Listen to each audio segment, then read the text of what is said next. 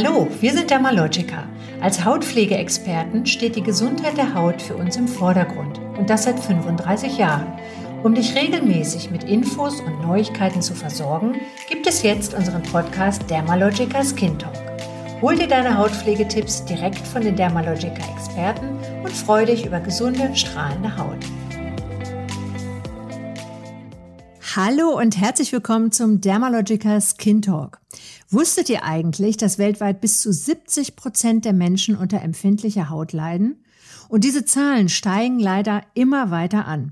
Was ist die Ursache? Also empfindliche Haut kann genetisch bedingt sein, aber auch hervorgerufen werden durch den Lebensstil und oder bestimmte Umweltfaktoren. Und obwohl das ja eigentlich zwei verschiedene Dinge sind, gibt es eine Gemeinsamkeit bei beiden Ursachen. Was das ist und was ihr machen könnt, um eure Haut wieder in die Balance zu bekommen, das verrät euch gleich die Vera. Hi Vera. Hallo. Vera, erklär uns doch mal bitte, wie man erkennt, ob man eine empfindliche Haut hat. Also der Begriff empfindlich wird erstmal im Allgemeinen verwendet. Und tatsächlich haben die meisten Menschen aber keine empfindliche, sondern eine sensibilisierte Haut. Also wo ist da der Unterschied? Empfindliche Haut ist genetisch bedingt. Das heißt, ich komme damit auf die Welt. Das ist ein Hauttyp. Und das ist ein ererbtes Merkmal. Und da können wir daran arbeiten, die Symptome zu hemmen und zu kontrollieren. Aber ich werde immer diesen Hauttypen empfindliche Haut haben. Und die sensibilisierte Haut, das ist kein Hauttyp, sondern ein Zustand. Und das bedeutet, dass im Prinzip grundsätzlich jeder Mensch auch mal eine Phase haben kann, wo die Haut sensibel und irritiert ist. Kennen wir wahrscheinlich auch selber, wenn es vielleicht auch etwas kühler wird, Winter ist, dass ja. man generell mehr dazu neigt, dass die Haut da auch empfindlicher ist. Und Gründe dafür können dann auch externe Faktoren sein. Bei beiden sieht man aber auch immer die Rötung, Trockenheit, Spannungsgefühl, dieses typische, ja, ich sage immer dieses unwohle Hautgefühl. Ja, ja. Genau. Und wie gesagt, die meisten Menschen haben gar keine empfindliche Haut, sondern wirklich eine sensible Haut durch äußere Faktoren. Und da lässt sich schon ganz, ganz viel tun, wenn man einfach das Lifestyle-Management mal überdenkt. Ja, was sollte ich denn, worauf sollte ich denn achten? Also worauf oder womit kann ich denn meine Haut eigentlich sensibilisieren? Ja, und da kommt jetzt eine ganze ja. Menge erstmal wieder. also es ist wirklich ganz, ganz viel und es macht dann auch wirklich Sinn, wenn man sich einmal hinsetzt und darüber nachdenkt, okay, was ist jetzt tatsächlich die Ursache oder könnte ein Auslöser sein? Da haben wir zum einen tatsächlich Umweltverschmutzung, also chemische Umweltschadstoffe wie Feinstaub, ist häufig eine Ursache der Sensibilisierung. Mhm. Und Untersuchungen haben auch gezeigt, dass diese Entzündungen, die dann entstehen in der Haut, zu Hautalterung führen können. Dann haben wir Lifestyle, hm, alles was ja. dazugehört, also Rauchen, Ernährung, hohe UV-Belastung, mhm. alles das kann dazu auch führen, dass die Haut sensibler wird. Mhm. Dehydration ist auch ein ganz, ganz wichtiges Thema, denn die Dehydration oder auch Feuchtigkeitsmangel in mhm. der Haut ja, beeinträchtigte Barriere. Mhm. Da komme ich auch gleich nochmal dazu, um zu erklären, was ist eigentlich die Barriere, nochmal die Barrierefunktion. Man liest es ja auch häufig, wie wichtig ja, genau, das ist. Genau. Und das sorgt nämlich dafür, wenn die Barriere gestört ist, dass Mikroorganismen Schadstoffe in die Haut eindringen können und die Haut dann reizen können. Mhm. Dann gibt es aber auch noch diesen Aspekt überpflegte Haut. Also exzessives Reinigen, Peelen oder auch nicht hautneutrale Reinigungsprodukte können auch hier wieder die Hautbarriere angreifen und die Haut sensibilisieren, genauso auch wie Verletzungen auf der Haut. Dann haben wir auch wieder diesen ganzen Packen Inhaltsstoffe. Also austrocknende Alkohole, Parfümstoffe, Farbstoffe, Konservierungsstoffe. All das kann dazu führen, dass auch wiederum die Barrierelipide abgetragen werden von der Haut, die Haut gereizt werden kann und dann ist die Haut auch empfindlich und sensibilisiert. Dann Entzündungen. Wir sind noch nicht am Ende, Wir okay? Sind noch nicht am Ende angekommen. Entzündungen, aber das ist auch ein ganz, ganz wichtiges Thema, wenn man so an Hauterkrankungen denkt. Mhm. Also Hauterkrankungen wie bei Rosatia, Neurodermitis, Psoriasis. Also auch hier liegt immer eine Dysfunktion des Immunsystems zugrunde, was auch dauerhaft zur Entzündung führt. Und dann ein wichtiges Thema ja. zum Abschluss tatsächlich Stress. Also emotionaler ja. Stress, chronischer ja. Stress kann zu Juckreiz führen, Wundheilung vermindern. Und das liegt einfach daran, dass das Stresshormon dauerhaft erhöht ist. Mhm. Und das führt dazu, dass wir Entzündungsreaktionen im Körper haben. Und das wiederum führt zu Hautproblemen, bis hin auch tatsächlich zu Gesundheitsbelangen. Ja, ich meine, das sind ja total viele Punkte, die du jetzt genannt hast, mit denen man seine Haut sensibilisieren kann. Da wundert es einen ja nicht, dass die Anzahl der Menschen, die sich selbst als sensible ähm, Hauttypen beschreiben, immer mehr ansteigt, weil die meisten ähm, unterscheiden ja nicht zwischen sensibler, also empfindlicher Haut und sensibilisierter Haut. Ja. Für die ist das im Grunde alles gleich. Aber das ist ja wirklich wahnsinnig viel. Wie ist denn das eigentlich? Kann man denn auch sagen, es gibt eine Gemeinsamkeit zwischen einer empfindlichen, also du hast es eben beschrieben als genetisch bedingte empfindliche Haut und eine sensibilisierte Haut? Haben wir da was Gemeinsames? Ja, das ist die gestörte Hautbarriere. Genau, was ich schon gesagt habe, also Hautbarriere ist wirklich ein ganz, ganz wichtiges Thema, denn die Hautbarriere sorgt im Prinzip dafür, dass wir geschützt sind, dass die Haut geschützt ist, auch vor Eindringlingen. Und man kann sich das vorstellen, dass unsere Hautbarriere wie so eine Mauer aus Stein und Mörtel ist. Also die mhm. Steine, das sind jetzt unsere Hautzellen, die Korneozyten.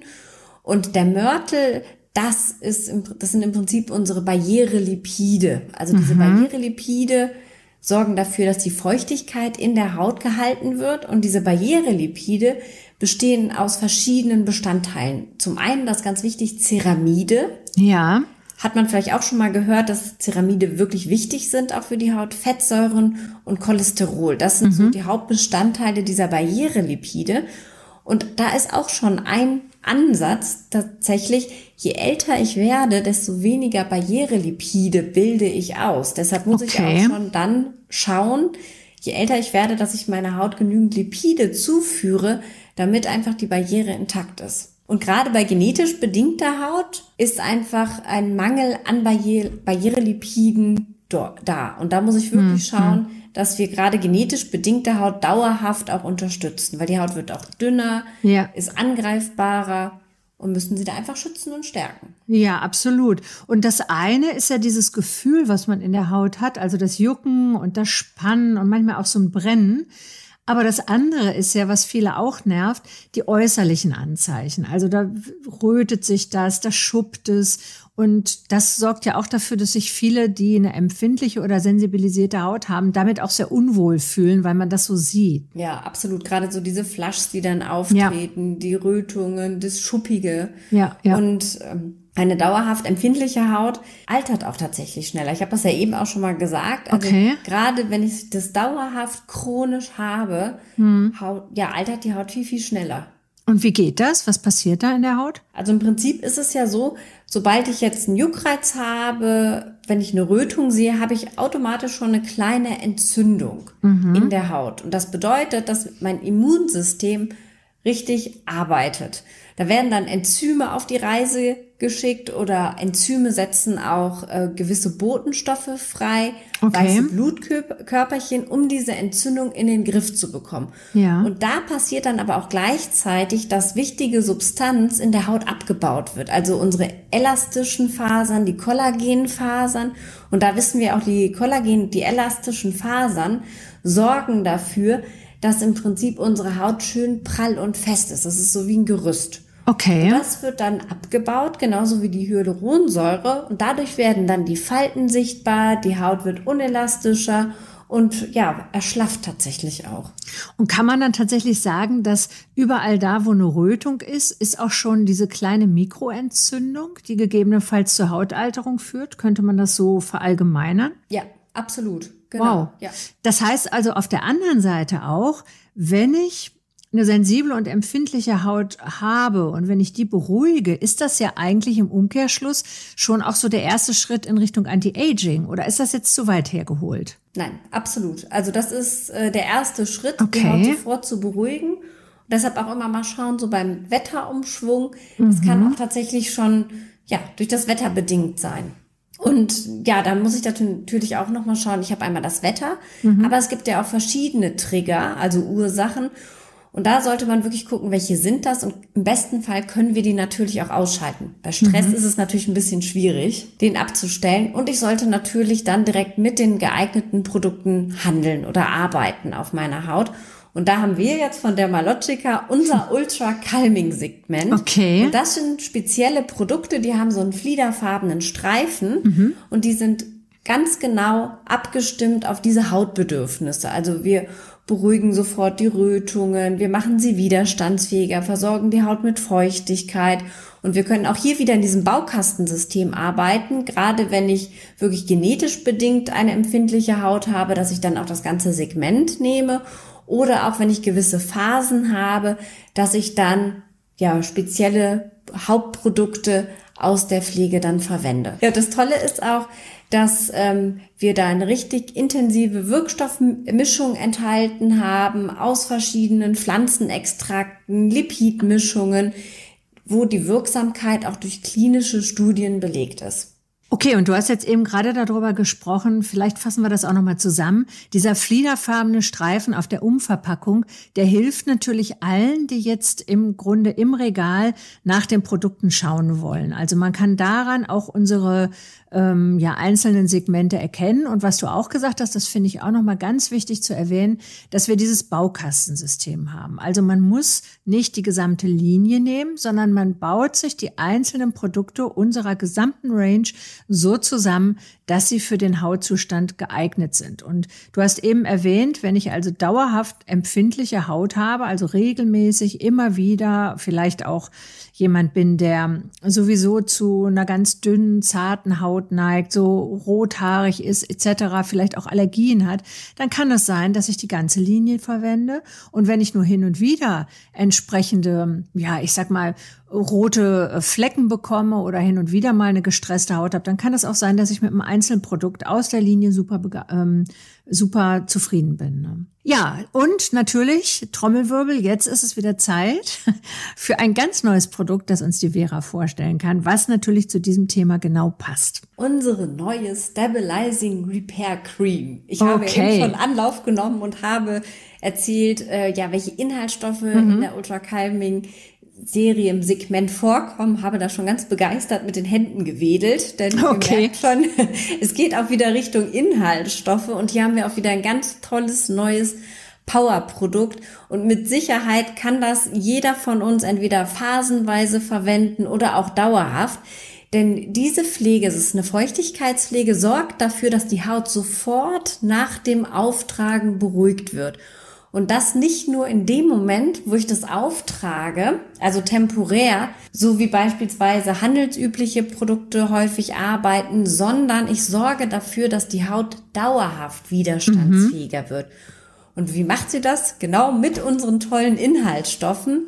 Wir haben da einen Dermalogica Ceramidkomplex. Und ich habe ja eben schon gesagt, Ceramide sind Bestandteil oder ein ganz wichtiger Bestandteil unserer Barrierelipide. Mhm. Und im Alter oder auch bei einer genetisch bedingten Haut werden ja diese Barrierelipide nicht ausreichend produziert. Und unser Ceramidkomplex sorgt jetzt dafür, dass die hauteigene Ceramidproduktion angeregt wird und wieder genügend Barrierelipide gebildet werden. Das heißt, die Haut ist nicht nur temporär oder in dem Moment beruhigt, wo ich das Produkt auftrage, sondern wird mit der Zeit wirklich widerstandsfähiger.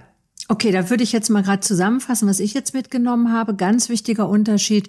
Es ist nicht etwas, was nur kurzfristig wirkt, sondern es sorgt dafür, dass langfristig die Barriere der Haut wieder aufgebaut wird. Also so quasi Hilfe zur Selbsthilfe eigentlich. Ganz genau, ja. Okay. Mhm. Und wir haben eine tolle Balsam-Creme-Formel, also schmilzt richtig schön auf der Haut, ist wirklich für jede Haut geeignet. Wir haben eine tolle Pflanzenmischung enthalten. Unter anderem haben wir ja, wie gesagt, diesen Ceramidkomplex enthalten, aber auch Zika. Und mhm. Zika sorgt dafür, dass Feuchtigkeit gespeichert wird, dass also die Feuchtigkeit in der Haut gehalten wird. Dann haben wir die Auferstehungspflanze, mhm. die zusätzlich die Hautbarriere stärkt. Tasmanischer Bergpfeffer, angebaut in Australien, beruhigt okay. die Haut sofort und nimmt auch sofort diesen Juckreiz und dieses, ah, ja. ja. dieses Kribbeln und Brennen. Mhm. Ich sage da immer gerne so dieses, ja, unwohle Hautgefühl. Ja, das ist wirklich voll un, also das kenne ich auch, gerade wenn ich so einen Allergieschub habe und es ist, ist so unangenehm, dieses Jucken, Brennen, man fühlt sich so, als wenn man eine Austauschhaut bräuchte irgendwie, so ganz, ganz unangenehm. Und du merkst halt bei der Stabilizing Repair Cream sofort nach dem Auftragen, dass die Haut beruhigt ist. Also mhm. das siehst du wirklich unmittelbar, dass die Rötungen dann genommen werden auf der Haut. Ja, und du hast ja auch gesagt, wir können ja auch zurückgreifen auf klinische Studien, die wir gemacht haben, die auch wirklich zeigen, dass das, was wir für Aussagen jetzt auch dazu treffen, dass die auch wirklich ähm, Hand und Fuß haben, dass wir uns das nicht einfach ausdenken, sondern dass das tatsächlich so ist. Ne? Ja, jetzt haben wir ja bei Dermalogica auch noch immer ein zweites ganz, ganz wichtiges Standbein, um das, was man auf der Haut erreichen möchte, also die eigenen Hautpflegeziele zu bekommen. Und zwar sind das ja unsere Kabinentreatments. Was würdest du jetzt jemandem empfehlen, der sich Gedanken darüber macht, welche Behandlung in der Kabine die richtige sein könnte? Ja, also gerade bei einer empfindlichen Haut ist man ja auch immer ein bisschen zurückhaltend, denkt, welche Gesichtsbehandlung könnte denn jetzt für mich richtig sein? Ja. Und speziell auf diese Hautbedürfnisse haben wir zugeschneidert die Dermalogica Pro Kalmbehandlung. Ah, okay. Das ist speziell eine Behandlung, da sind die Produkte, die Arbeitstechnik, die Massage auf diese Bedürfnisse abgestimmt, dass die mhm. Haut beruhigt ist, dass die Barriere gestärkt wird, damit sie einfach dauerhaft widerstandsfähiger wird. Mhm. Und die Pro-Kalm-Behandlung, wenn ihr sagt, Mensch, das hört sich interessant an, dann könnt ihr auch bei uns auf der Website dermalogica.de mhm. könnt ihr dann euer Institut in der Nähe finden, könnt dann auch die Pro-Kalm-Behandlung anklicken, mhm. um dann zu sehen, wo der nächste Hautpflegeexperte, die nächste Hautpflegeexpertin ist bei euch in der Nähe, der diese Behandlung anbietet. Ja, und was hast du jetzt für alle, die vielleicht sagen, ah Mensch, so eine Behandlung und meine Haut ist doch so empfindlich, ist das da das Richtige? Ich denke mal, es ist ja bei uns auch so, unsere Hautpflegeexperten und Expertinnen sind entsprechend geschult. Die wissen ja genau, was sie bei einer empfindlichen Haut machen dürfen und was nicht. Vielleicht für alle auch noch mal so ein paar Tipps für zu Hause. Was sind die absoluten No-Gos, wenn man seine empfindliche Haut zu Hause richtig pflegen möchte? Also an erster Stelle sind die Rubbelpeelings. Also ja. klassisches Rubbelpeeling oder wie wir auch sagen, mechanisches Peeling. Das sind häufig ganz grobe Körner. Diese Mechanik, diese Reibung reizt zusätzlich die Haut. Also da mhm. bitte unbedingt drauf verzichten. Und auch verzichten vielleicht auf die selbstgemachten aus Zucker und Olivenöl, ne? Ja, genau, weil hier haben wir keine abgerundeten mm. Partikel, sondern wirklich scharfkantige Kristalle, mm die zu Mikroverletzungen führen können heißes Wasser auch vermeiden okay. und generell auch so diese weniger ist mehr Regel. Mhm. Also nicht unbedingt ähm, 20 Produkte hintereinander auftragen, sondern wirklich ganz auf ja auf die Haut abgestimmte Produkte, dass man nicht sagt, ich nehme jetzt noch ein Vitamin C Konzentrat und dann noch ein Retinol, sondern wirklich weniger ist mehr, weniger Reibung, weniger Hitze und auch weniger Produktmenge. Ja, super. Dann ganz, ganz lieben Dank an dich, Vera, für deine Infos zum Thema. Und dann würde ich mal sagen, bis zum nächsten Skin Talk. Bis dahin. Tschüssi. Tschüss.